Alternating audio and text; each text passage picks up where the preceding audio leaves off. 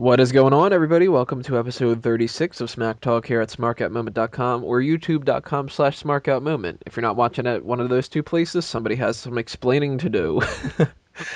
I'm your host, as always, Tony Mango. With me, as always, Chris the Dace Man Dace. Woo woo woo! You know it. I, I don't know it. I, I don't know where you're going with here. Just something I thought of off the top of my head. You know, I figured we'll try it. Maybe it'll go over with the fans. Maybe I'll make it onto the internet.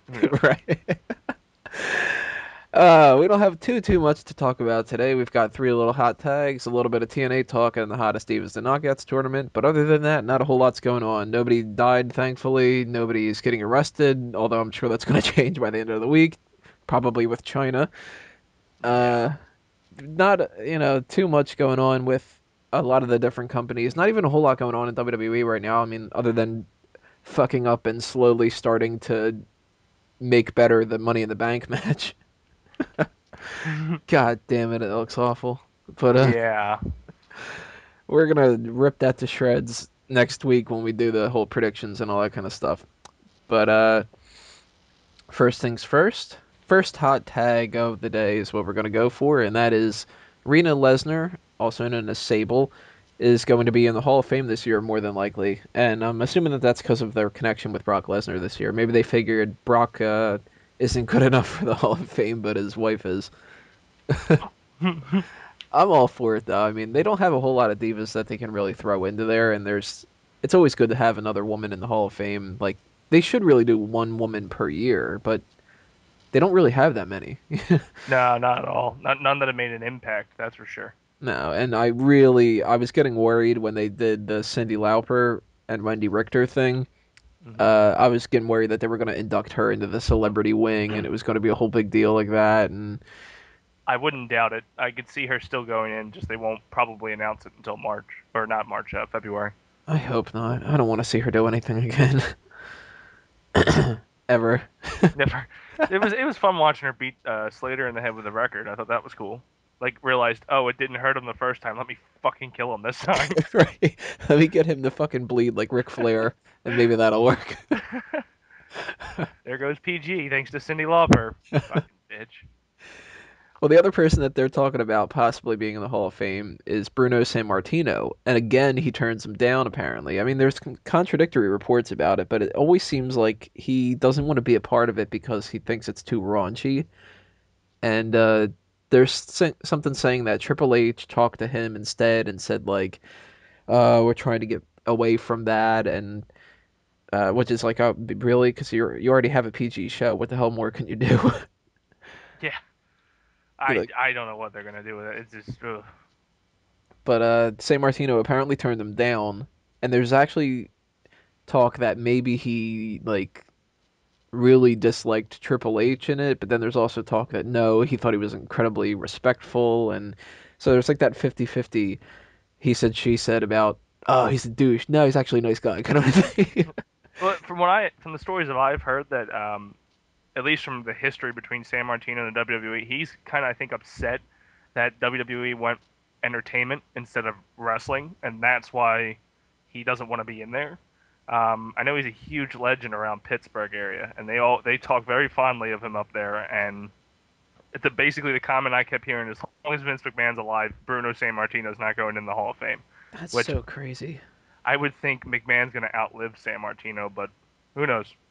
Yeah, because I mean, Sammartino, he's been retired for how many years? And it's usually that kind of a situation where if you retire, you tend to die faster. I mean, it sounds Yeah. horrible to say, but the people that keep active are the ones that tend to live longer. And McMahon's seemingly healthy in all uh, aspects other than his mind. yeah. That shit crazy, but you know, he'll live. yeah. The saying, only the good die young. McMahon's gonna live until like he's 200. yeah. He's just gonna like do some horrible deed each year to make sure that he stays up there for another year. Next year he'll like kick a baby, then I don't know, he'll cut off Zach Gowen's other leg or something. it was me, God. It was me all along. He's responsible for Randy Savage's death. Ooh yeah. That's awful. I shouldn't even say that. but uh No, like with the uh, the Savage Hall of Fame thing, where they keep saying that he's not going in there because he wanted to have his brother and his dad in it and everything. That at least makes a little bit of sense because you know that they're not going to get in there without him, so it's kind of a package deal. But uh, with Sammartino, I mean, you might not agree with where the company is, but accept the honor. You know what I mean? It's not a matter of them like what are they going to do? They're going to book you in a WrestleMania match and get the money out of you for it? Like, how can you have a Hall of like that? I, I understand his point of view and how he doesn't want to be in there with like Drew Carey. Completely understand, but putting him in there, like the longest WWE champion, would make it more credible. You staying out of it is why we think it's all a joke. right? Yeah. When they can't get you, they get Koko B. Ware. Yeah, it's it's because you keep saying no. We get assholes like uh, Drew Carey, and then uh, Pete Rose goes into it before everybody else.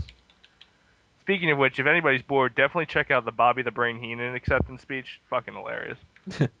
Always good. Heenan's yeah. man. Yeah.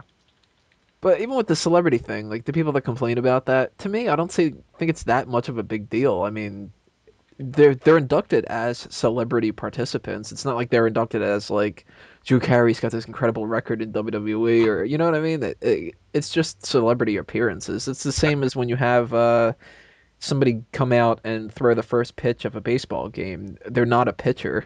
Some little kid does it. It's not like oh my god, my record of uh, one strike.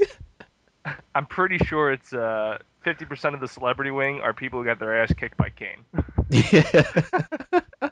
so it, it's kind of just like, oh, if we ever make a building, uh, it'll be like a wall next to the bathroom with all the celebrities. The Celebrity Hall of Fame is just on fire because Kane shows up every day and burns it. yeah. well, that's it for the Hall of Fame stuff. Uh, next one Angelina Love and Shannon Moore have left TNA, and it seems like Love has left because she kind of wants to do something else, which a lot of divas and knockouts seem to be doing lately. They seem to kind of like be tired of wrestling and they want to go into modeling and fashion and acting and failing on all three of those and then going to uh, Ring of Honor like Maria. but uh, Shannon Moore just seems like maybe he didn't get a call to ever wrestle anymore and figured I guess I'm already released. well, yeah, I mean, and I think a lot of those guys are biting on the fact that uh, there are rumors floating around that there will be a cruiserweight show and they want to rebuild their divas division and stuff like that. Because I mean, Angelina Love would be amazing in the WWE. She'd be the top, one of the top divas. Yeah, well, she would automatically be the top one because there's like three that wrestle right now. Yeah. There's Layla, Beth, and every once in a while Alicia Fox pops out, and uh, mm-hmm. AJ just skips around the ring, and. And they don't even. The only problem with like the Divas division, they like, it feels like WWE says yes, we're gonna rebuild these divisions, and then brings the talent in, and just like you know what, uh, go do like a bikini contest thing. It, it's like they completely lose interest as soon as they bring in the talent. Right. How many tag teams do we have right now, and how many of them wrestle in tag matches per week? As opposed to let's just throw CM Punk and John Cena in a tag match. Yeah, well, that's because Teddy Long's been gone. Did you notice though that this week with the uh, general manager being him, it was all these tag matches? I swear that those guys must read the wrestling memes and stuff like that. Like, oh, tag match, Teddy's back. yeah. They're like, well, let's have a special edition of Raw where it's all tag matches, and uh, that's going to be the Teddy Long episode. The one after that, we'll make it all singles matches because it's not Teddy. we'll have to have at least one segment where he's standing and looking at a monitor and doing that little fist bump dance that he does. the little, oh yeah. The little holla holla dance. I'd love to see uh, Love in WWE. Shannon Moore, I don't really care. Been there, done that. Yeah. If they actually do get a cruiserweight division up, he'd be a good jobber for that division. Yeah, he could be one of those like quote unquote legends for it that like helps a lot of the people like Amazing Red and all that. Yeah. Or Brian Kendrick, I'd like to see him back and I would love the Brian Kendrick back. Still doing the Yoda thing it. though.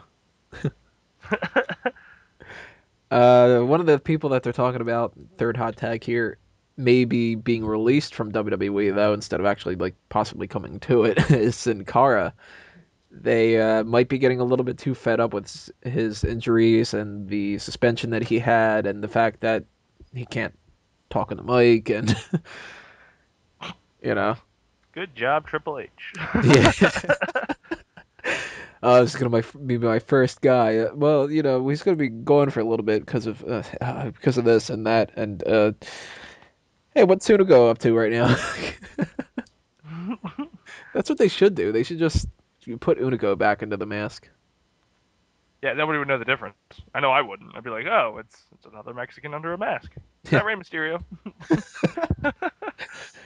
But he's not doing anything with the tag division with Camacho because Camacho's not doing shit. He's wrestled what like five matches and he's been in the company a year. Yeah. if they can't figure out a way to put him in a tag match every once in a while with Hunico or a singles match every like 10 weeks that he's on SmackDown, then just release the guy. And you know what? While you're at it, uh, release Epico and Primo and Yoshitatsu and JTG. And like I don't understand their their philosophy. They they released Carlito a couple years ago, and then just brought in another family member to replace him. It's like, Yeah. why, why didn't doesn't you have a, Carlito? one who doesn't have the talent of Carlito. Yeah. We'll get, we'll get Epico. He's Primo light. Fucking boring team. Terrible team. I don't like them at all. And who knows? Maybe they'll be fired too because it's a tag division thing, so they won't last. Yeah. So do you think that Sin Cara is going to be released, or do you think that they can squeeze something out of him for a little while and then kind of? Just because it's Triple H's first product uh, or project, I don't think he'll be released. That- That'd be a bunch of like the naysayers of WWE would slam him if Sin Cara is the first guy released. I I wouldn't care actually. It sounds kind of weird. Like I like the Sin Cara brand, hmm but I don't really necessarily like Sin Cara. Yeah. He stopped doing some of the moves that I thought were kind of cool, like that. Uh, what was the uh, Paul Burchill's move, the C4? hmm he he did that off the top rope. That was a good finisher. Now he does another Hurricanrana thing. Yeah, but I mean, like in a year where they didn't do their annual releases, for him to be the first guy to go, they would just be like, "Oh, Hunter, Hunter," to the Honey. Triple H will uh, just fire a bunch of other people to like try to hide it. Like when you throw a little uh, needle in a haystack kind of thing. He'll be like, "What's your name? Uh, I'm Johnny Curtis. You're fired." Why? Because I gotta get rid of Sin Cara, and he's not the first one to go. You son of a bitch. Right, you're white. We have enough white people. as long as they do Sin Cara versus Rey Mysterio once, whether it's at I don't know, do it at SummerSlam for all I care. You know what I mean? They don't need to do it at WrestleMania.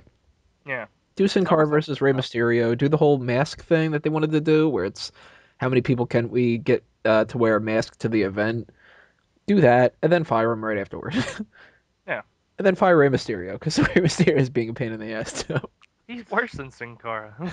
At least Sin Cara got like legitimately hurt. Rey got like a bump, and he was like, "Oh, I'm out for a year."